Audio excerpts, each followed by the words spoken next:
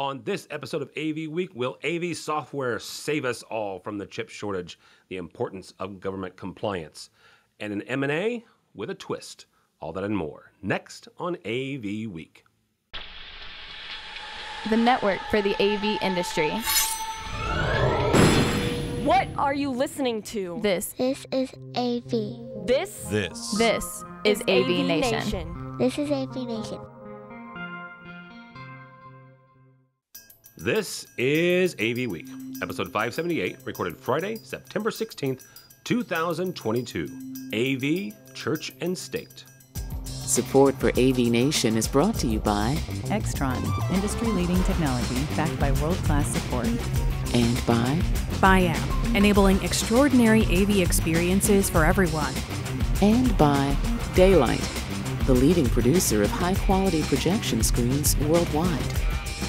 This is AV Week, your weekly wrap up of audiovisual news and information. My name is Tim Albright. I am your host. With us to discuss the news and information we have gathered this week, first and foremost, we can't tell you where she works because we'd have to kill you. Dawn Mead. Welcome, ma'am. Thanks for having me as usual, Tim. Absolutely. Also with us is Ace producer, live event, and um, virtual live event, Ace Johnson. Welcome, sir. Thank you, thank you. Happy to be here. Uh, and last but not least, Mr. Derek Jon- Joncas from uh, Extron Electronics. Welcome, sir. Thanks. Great to be here, Tim. And if you are not watching the video, all of us have uh, screen envy uh, from uh, Ace's uh, video setup. You're only seeing two of about 23 screens he has surrounding him. So, yeah. It's my Uh, Mission Command Center. I'm just saying, dude. That you get, yeah, yeah, yeah. You, you're just you're, you're you're set up there.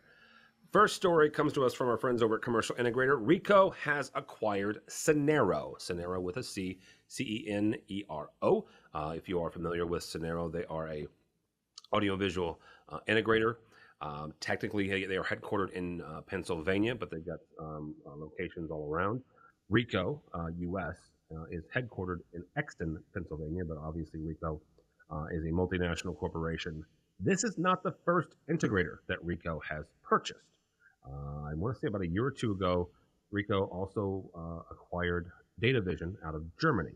So this is this is kind of part and parcel of where Ricoh has been heading, uh, according to the Ricoh um, CEO and President of for North America, quote unquote. This strategic investment in Cenero in Cenero will create new value for our customers, expanding our global integrated digital services portfolio with hybrid workspace solutions that enable secure, effective, and collaborative meeting space meeting experiences for on-premise, on-premises and remote employees alike. Ace, I'm going to start with you on this. Uh, like I said, this is not the first time that Ricoh has purchased an integrator, but it is quite interesting. Where do where do we sit as you know customers? Where do we sit as industry uh, veterans? Where do we sit as the industry with a manufacturer, right, purchasing an integrator? I, I think it's a little bit of a risky move. Could be a bold move, but um, it's kind of one. You know, we'll see how they uh, how they try to manage the business and and separate church and state while servicing competitors and also you know owning their own company to do business in the industry. Um, you know, not sure why they decided to go this route strategically. Be real curious to, uh, you know, be a fly in that boardroom and understand what they think the uh, advantages are based on the size of the company they bought and market share and and product, you know, sold and things like that. If they think they're going to do a, a massive shift and overhaul with, you know, what they're selling and how they're selling it, then, you know, there could be some advantages. But, you know, I feel like that's a lot of customers that have to buy into a single product mindset. That uh, there's a lot of options out there in the market that the Ricoh competes against. So, um, yeah, it's, it's it's a curious move, an interesting one. Like I say, bold and risky all at the uh, same time. Derek, uh, speaking of, of competitors in the marketplace, you are certainly one of them. Uh, w- when you look at it, not necessarily as an Extron employee, this is not you know Extron's company line. This is Derek as an in- industry uh, veteran. When you look at stuff like this, and, and and the thing that makes integrators unique is the fact that they're able to bring disparate systems together and make them, not to be silly, integrated. So when you look at stuff like this, you know what what do you see as an industry veteran? Well, I think there must be some kind of shared opportunity that uh, both Ricoh and Cenero have identified that uh, make this must make sense for them. It seems to me, uh, based upon um, some of what Cenero has been promoting on their website and in the industry, that they've kind of taken a focus which seems very similar and aligned to what Ricoh has been uh, interested, at least to my knowledge, as of late. So there must be some uh, kind of like uh, we were just talking about there that there must be some kind of synergies that they're hoping to achieve. Um, and I think this is just part of the larger trend of just kind of the acquisition, uh, the acquisition of other companies.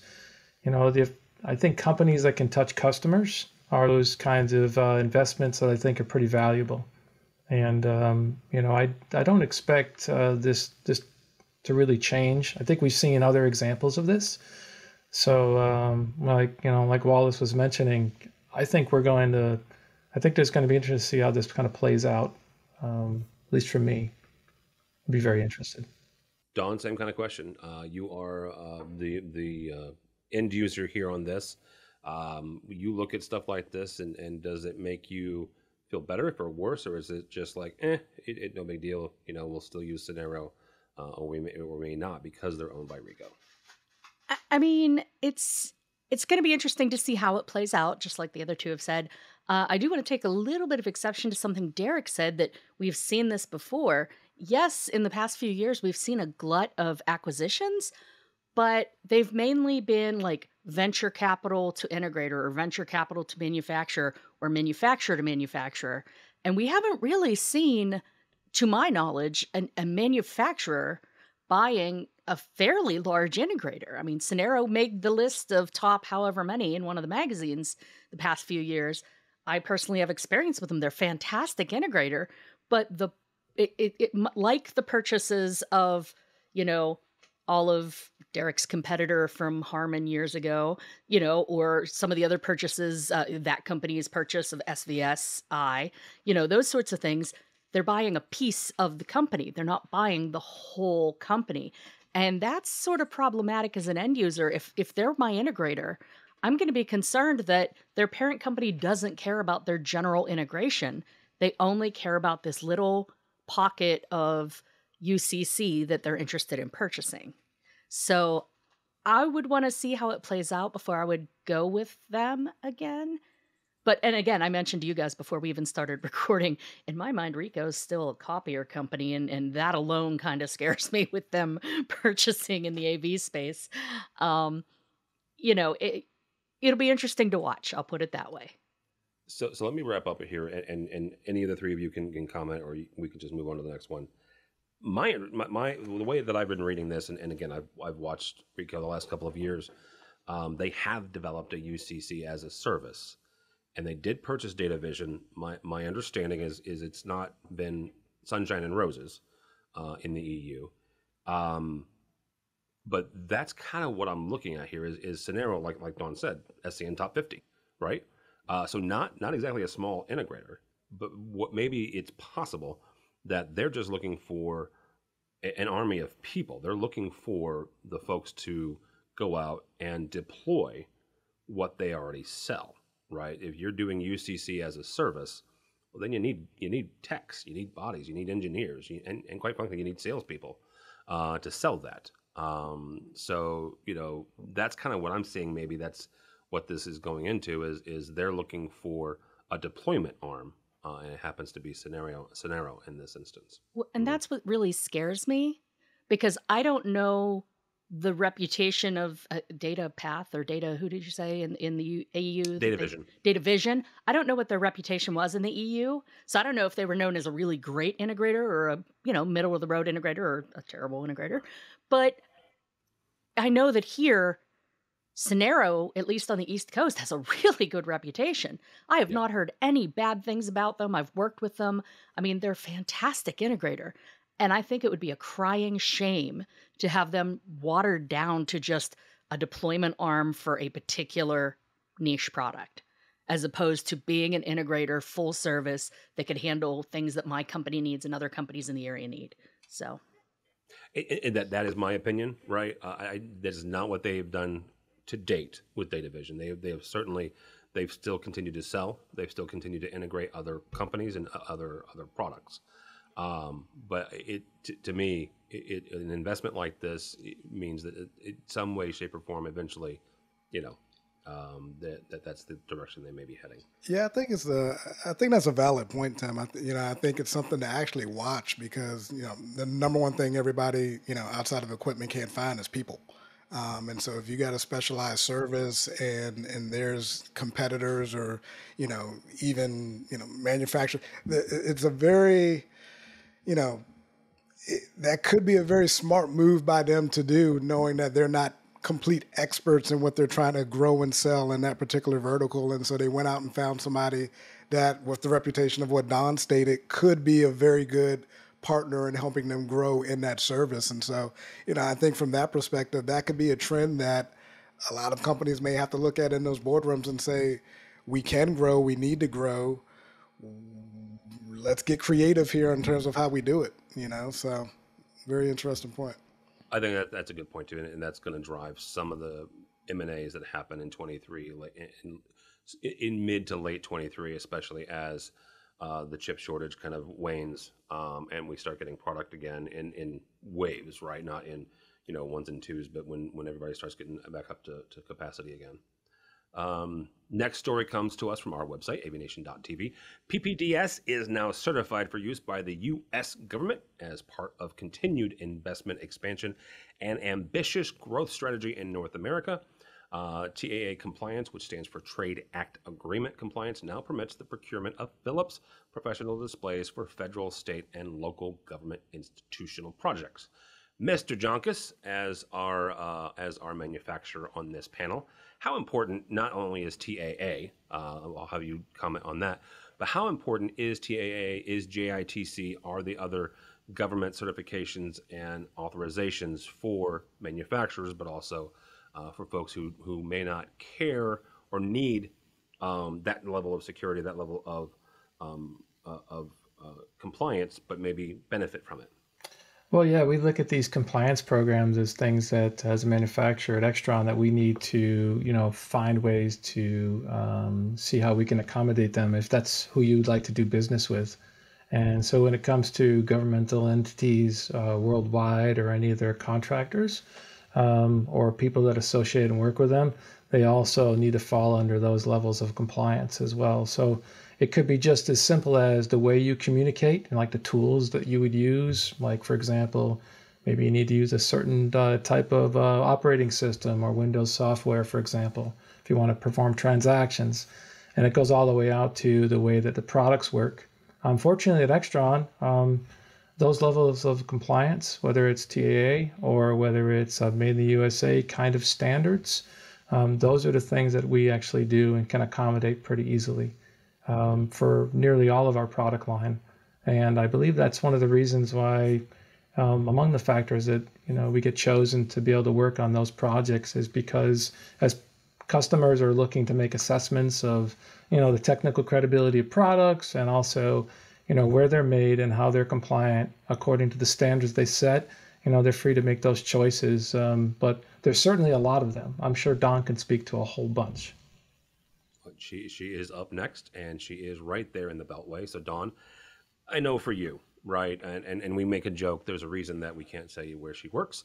Um, but for you, certainly, uh, this the TAA and JITC is, is is important. Explain to people why, though. So, first, let me just say I was so excited when this story broke this week that I immediately sent out an email to my entire team and said, Holy cow, look, because this is great news for us. Um, I, you know, I work for a very large company in that vertical.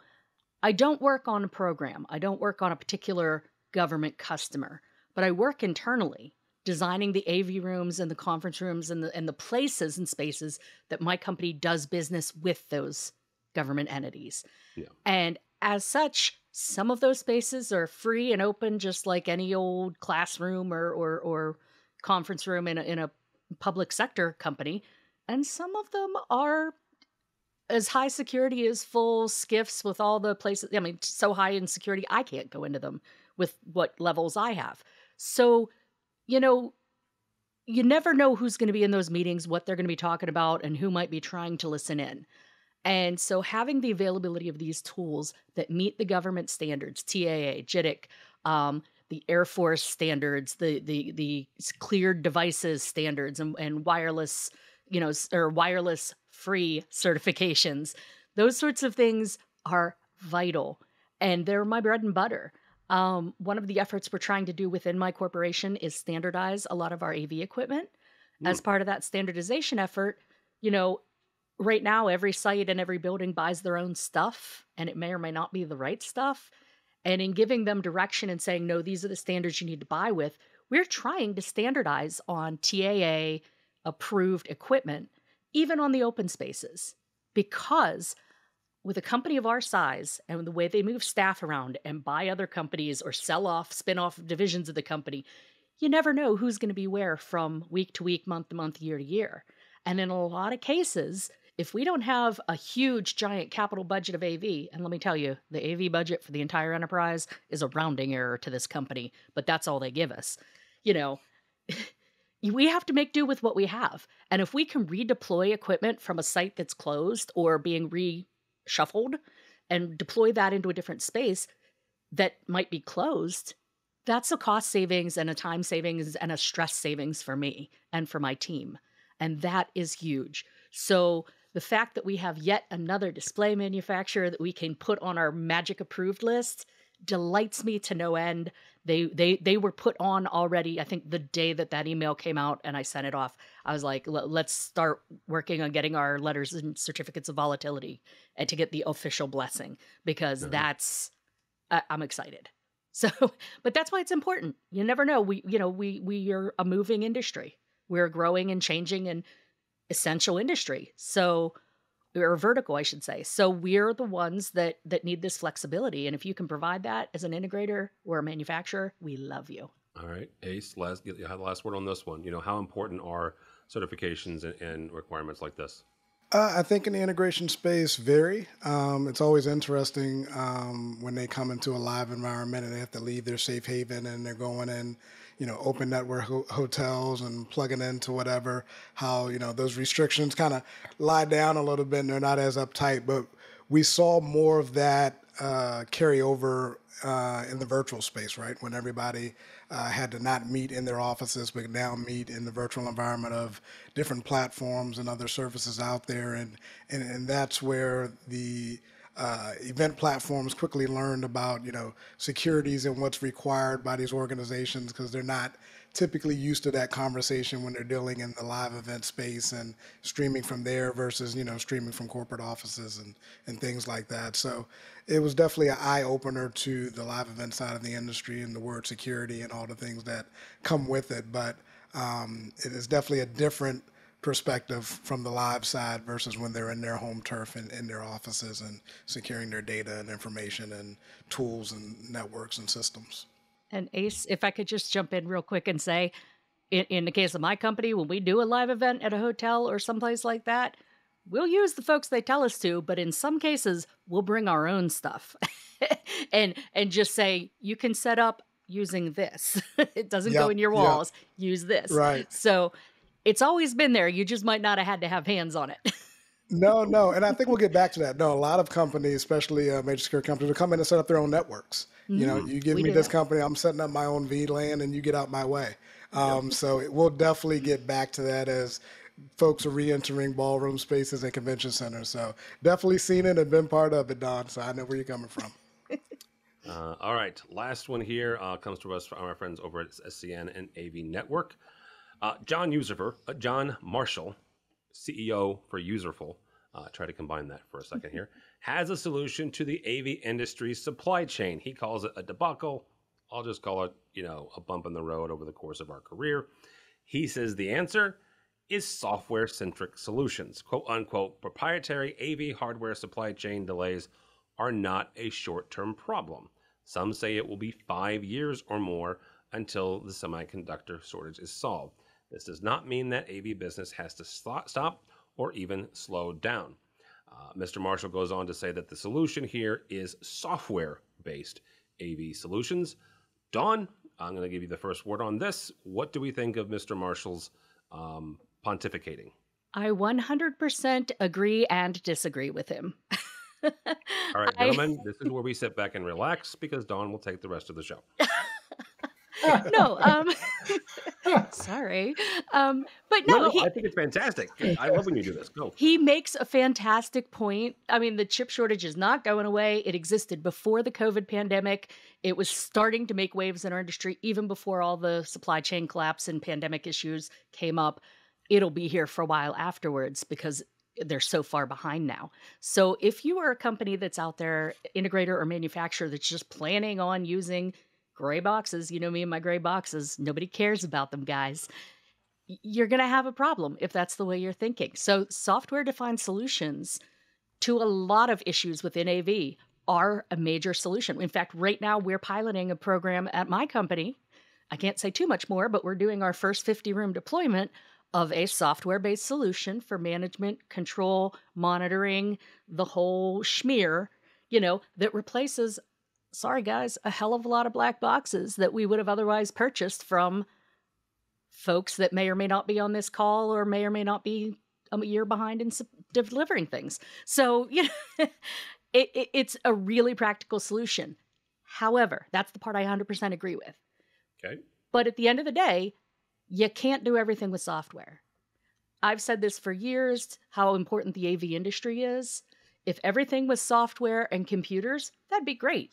But without a display, you can't access any of that data, any of that software, any of that info. At the end of the day, your ears and your eyes, the analog parts of our industry, still exist. You still need to feed the info into your ears, feed the vision, the images into your eyes. And so, some parts of the industry, you can't have a software solution for a display on the wall. You can't have a software solution for a camera to record the information in the space. So, certain things, yes, this is 100% the greatest solution. And people should be looking at that already if they're if they're not already, because a lot of your end users are. But it's not going to replace everything. It is not the be all end all magic solution that that the article tends to paint it as. Um, there will always be need for chips. There will always be need for some hardware. There may always be need for some gray boxes. Don't get me wrong, guys. But if we can do it with software in a secure way on a secure network or a secure VLAN, that's the way we can go for the interim or for the long haul. That wasn't All too right. long, Tim. no, no. Uh, Ace, uh, you know, where, where, do we, where, do, where does this sit with you? Not only in, in the live event space, but also, you know, uh, from from your your integration uh, view as well. Um, from the integration view, I would say I, I, feel like we were already headed in that direction. Um, you know, the shortage is now just accelerating, you know, the effort to get there faster. Um, but it's not anything new or anything that didn't exist prior to uh, you know the, the the short the greater short shortage that we're seeing now as Dawn put there was a shortage already happening pre-COVID so we're just now realizing how bad it really got and, and now you know having to, to search and scour for options. And you know much like probably folks on the live event side you know I think integrators were looking into networking you know prior to all of this but the live event space, I would say 80% of the industry never heard of NDI until, you know, probably June of 2020. and, and now it's, you know, their favorite toy in the toolbox. And, you know, tools like Wirecast, vMix, and OBS literally saved companies for, you know, a year to introduce them to solutions of doing things via software and IP um, globally um, versus their traditional approach to executing um, event. So, you know, yes, it is a solution. It's not a end all be all because it's still software, right? So somebody's got to write code and somebody's got to do an update, and God knows what that update is going to do. So software still scares the hell out of most people, um, which is why they're so tentative to, you know, dive into it fully into a system. But you know, eventually that's where things are evolving too, and more and more devices will be replaced with software. But um, it's a I won't call it a band aid because I think it's more than that right now. Um, you know, than what it was a few years ago because it's improved, right? We've had updates, it's crashed, it's gotten better. So um, it, it, it's more than a band aid now. Let's put it's, it that way. It's a durable medical device. there we go. Interesting. Okay, durable medical device. Uh, Eric, you'll you'll have the last word on this as as a manufacturer of of gray boxes. Um, you guys have also moved to software, right? You've got virtual control now. Not the only one on the market that has that has virtual control. So talk for a second about this this idea here, um, the move to software, um, and, and, the move to um, designing and, and implementing with software. Yeah, I, I, would say there probably isn't a product that we make or think about or look to conceive that that doesn't involve some software at Extron. In fact, I think uh, one of the areas of largest areas of investment over time, even if you look at our open positions right now, there's all kinds of positions that are we're looking for more talent in that area. Um, you know, there's kind of this saying that I, a colleague of mine talks about that the new the new quality, the measure for that is convenience, and uh, right. So the good enough sometimes is actually good enough, and I think that there's a place where a lot of these things fit together. You know, there are some high performing applications where, at least right now, some of the software solutions may not be the best fit because there is a certain expectation of quality, there's certain element of latency that needs to be overcome. And that could be with live events, but that can also be something something as simple as a small discussion like we're having here today. So I think there are so many different layers to our industry now that there's more than enough space to fit different types of technologies. And I think that probably the larger challenge is really making sure that, you know, as professionals in our in our craft, that we're able to really define for our customers, the people that would use the things that that you know any of us, even on our in our uh, kind of even in this discussion today, um, that you're really having that really intelligent conversation. So you're really setting expectations about you know what levels of service will get you what levels of result. You know, it could be if you're an esports application, for example, maybe that's not a very great place to have latency because the whole idea of the fundamental of the competition is to make that as near real time as possible. But sometimes good enough is good enough. And, you know, if if AC you're working in an, in an application where you need to send some part of your feed to somewhere else, but so long as it gets there, it's okay. But it's not nearly doesn't happen in real time. That might be okay. And Dawn, I would imagine there are applications where you have where hey, I need to make sure these systems are switching in the right way, that things are being communicated in the right way, because status is the most important element. So I guess as a manufacturer, you know, we have to consider those items and choose, you know, in what technologies do we want to invest, and you know, when is the right time to bring those to market. And um, you know, we we get the benefit of everyone's feedback. I mean, a lot of what we do is driven by feedback, but yeah, I think there's a place for software-based solutions, and I, I don't think they're going away. I think they're they're here permanently in one form or another. It's just just to see how that goes. We will indeed. All right, y'all. Thank you so much, uh, Dawn Mead. Thank you, ma'am. How do people connect with you? Well, I can't tell you where I work, but I can tell you you can always find me on the social networks at AV Dawn or Dawn Mead if you're boring and want to go to LinkedIn. But um, if you're boring, I love that. You can also find me occasionally teaching at Avixa or teaching, uh, you know, around um, doing presentations, hanging out with people, being cool and groovy. And of course, you can find me here on avnation.tv on AV Week as often as Tim will let me come on, and on AV Social whenever I get around to recording one. We've been trying to schedule one for months. That's fairly accurate, guys. I mean, just right. You know, yeah, that's fairly accurate. That's pure entertainment. Okay, that's it was pure entertainment. Right.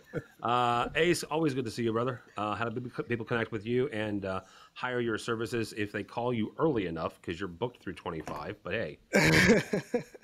I'm coming out of my cave, um, so I'm doing this podcast, and you know, I'm going to get back out in the world. You know, so I'll, I'll check my Twitter. You can follow me at Wallace, or uh, no, at Wallace CTS. Um, if you want to find, uh, get me, email me, uh, ace at dxg.agency. Uh, dxg.agency uh, is the website. And uh, yeah, I'll be around. All right. Mr. Joncas, always good to see you, sir.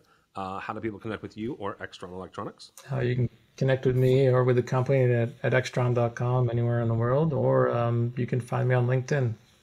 Thanks for having me, Tim, and good conversation today. Absolutely. Uh, for me, for Tim Albright, do not follow me on the Twitters um, because by the time you listen to this, uh, I, the Bears will either be 2 and 0 or 1 and 1. It depends on how much it rains on this Sunday. And that is an inside joke. And if you don't know what it is, look up the Bears versus the Niners game from last week, and it was rather entertaining. Um, but go to the website if you would, please, avnation.tv. It's avnation.tv. You will find this program and a host of others. Dawn's uh, aforementioned uh, infrequent AV Social, uh, Matt Scott. Um, There's a whole archive though. Watch the old ones. There is a whole archive. You should go watch those. Those are fantastic. Um, uh, uh, Matt Scott does uh, Resi Week, and uh, we have a daily one that our uh, incredible producer Mitchell Tulin does called the Daily Download, uh, and a host of others. So check those out as well. also, we're going to CEDIA. We'll be in Dallas the 29th of September through the 1st of October. So check out those as well. All that and more at avnation.tv. It's avnation.tv. Thanks so much for listening. Thank you so much for watching. That is all the time we have for AV Week.